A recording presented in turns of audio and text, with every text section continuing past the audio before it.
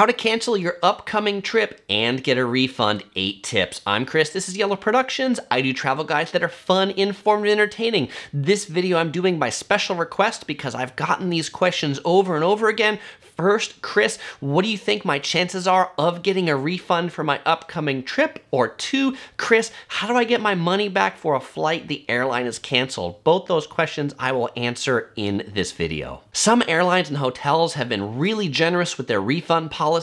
Others, though, are in survival mode and are basically refusing to issue any cash refunds, only offering flight vouchers for flights in the future for airlines that might not even be in business. Travelers are experiencing call volumes that are heavy, often hours trying to call the airlines, and so I'll give you some other tips than just having to call the airlines and being on hold for 14 hours. Tip number one, go online and read your airlines, hotel, cruise lines refund and cancellation policy. Many companies have issued special refund and cancellation policies just for the current pandemic outbreak, so make sure to check out those too, and they've been changing almost on a daily basis. So read up on that, find out what is covered and what isn't covered so that you know what you can actually work around and work with for that particular company. You also should read up on the refund policies of the countries that your flight was traveling from or to. For example, in the United States and the European Union, you are eligible for a full refund if the airline cancels your flight for any reason. A cash refund, not a credit. If you know what the government rules are, then that gives you some leverage with the airline if you do have to talk to them later. Tip number two, try refunding or canceling online. Many airlines and travel companies that didn't used to offer online cancellation and refund options now are. Why? Because their call centers are inundated and they can't handle it, so their IT teams have added new capabilities to cancel online. So check that out before you call and help avoid the frustration. Now, you might have checked a week ago and there wasn't a cancellation option with your company that you're flying or traveling with, but there might be today. If you can't find a way to cancel on the website, well, try their mobile app. Some companies you can only cancel on the mobile app because that's the team that they had that implemented it and they hadn't implemented it on the website yet. Can't find anything in their mobile app? Try filling out a customer service form on the website requesting a refund due to the cancellation. Can't find a customer service form on the website? Try looking up their Twitter account, try looking up their Facebook account, try looking up their email address, try finding any other way to contact them rather than calling them. For a recent hotel at a Marriott, I emailed them and a week later they canceled it and issued me a full refund. It did take a little while and actually I never got a response to my email, but they did cancel my reservation and give me my money back. Tip number three, if you do have to call them, try calling during off hours. If you're calling a US based airline, well, try calling them at 1 a.m. Los Angeles time. Chances are they're not getting many calls from US people at that time. If you still can't get through to the US numbers, try calling some of their international call centers. For example, United Airlines has a Singapore call center. Sometimes you can find the international call center numbers on the company's website websites. Other times you might have to dig a little bit, like you can search for American Airlines international phone numbers in Google and get various international call center numbers. Now, but you might be saying, Chris, it costs a lot of money to call long distance to Singapore or the Philippines. Well, then you should use something like Skype where you can make long distance calls for only like two cents a minute. The two cents a minute you spend on that call might be well worth saving the three hours on hold time that you'd spend on the US line.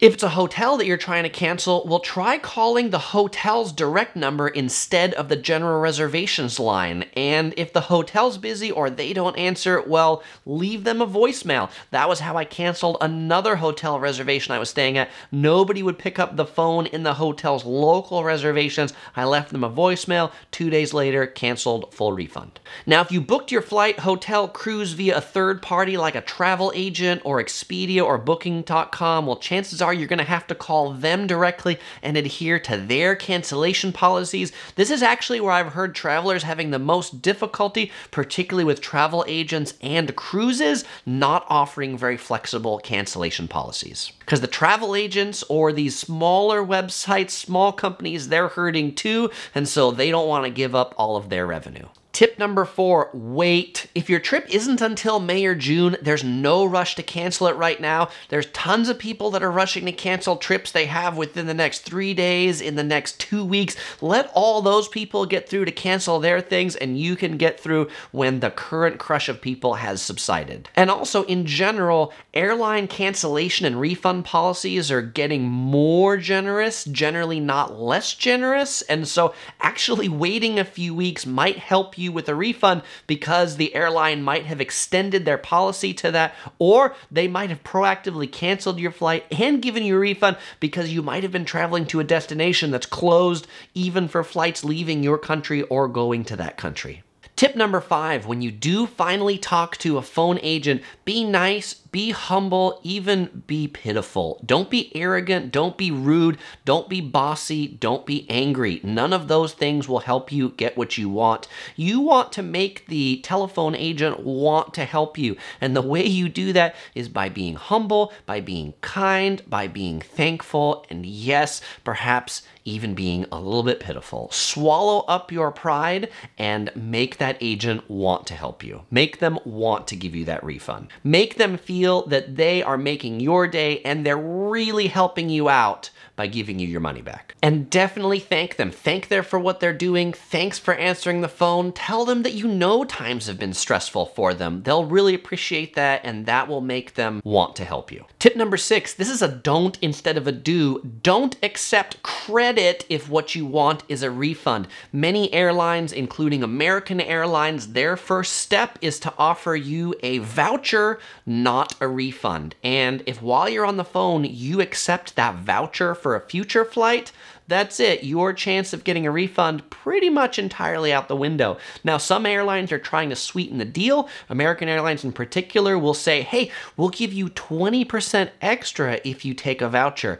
But if you're not sure whether you're going to be traveling over the next 12 months or not, then you might not really want that voucher. You might want your money back because that'll give you more flexibility to fly maybe another airline if they have cheaper rates. And this is also where that information that you read in tip number one, where I told you to go on your country's websites to learn about the legal rules, for example, the US and EU refunds, you can say something not in a Mr. Know It All way, but something in a kind of naive way where you allude to, well, but I think I've heard that flights from the US are eligible for refunds if they're canceled, so can't I get a refund under that policy? You know, be generic about it. Don't say something like, well, you know, per US regulation, blah, blah, blah, and if not, I'm gonna call my lawyer. I mean, they really won't wanna help you at that point.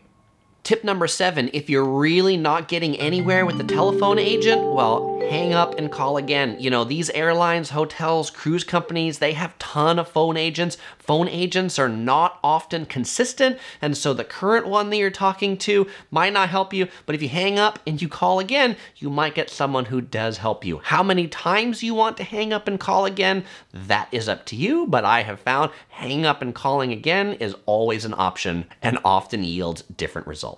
And when I say hang up and call again, I don't mean be rude. I don't mean be like, I'm not talking to you anymore and I'm gonna call back. Just if you're not getting anywhere, thank that agent for their time, hang up, and call back again. And when you call again, remember this new agent is a new person you're talking to. So just start your story all over again. Humble, pitiful, ask for help. You know the drill. Tip number eight, none of these things worked. Well, then, as a last resort, you can dispute the charge with your credit card company. The reason why this is a last resort is banks typically require that you show proof that you have tried to work with the party to work things out before you file a dispute. So, all of these phone calls, emails, you will want to have documented times, things you've said, who you've talked to, what the policies are on the website, what the policies are for the country, and those are all the things you'll need to provide to the credit card company to help in your dispute. And if the facts are in your case, then the bank may very well side in your case and issue a refund and a chargeback to the travel provider. Now, once you've got your refund, and I hope that you do, if you're looking for some ways to spend it, and it won't be on travel right now, because we're not really all traveling at the moment, you can watch my video right here about my everyday carry.